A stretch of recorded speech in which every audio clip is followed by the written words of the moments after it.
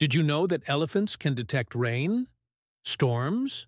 150 miles away?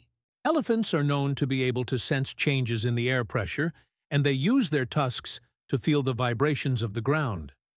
These vibrations can travel through the roots of trees and plants, and elephants can feel them in their tusks. When a storm is approaching, the elephant will trumpet loudly to alert the herd. The sound can carry for miles, and it's a warning to all the elephants in the area to get out of the danger zone. But it doesn't stop there. Elephants can also sense the electrical charge in the air before a lightning strike. This allows them to take cover and avoid being struck by lightning.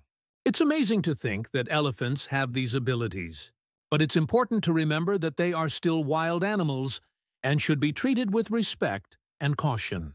If you want to learn more about elephants, stay tuned for more videos. Hit that subscribe button and stay curious with Zan Animal Facts.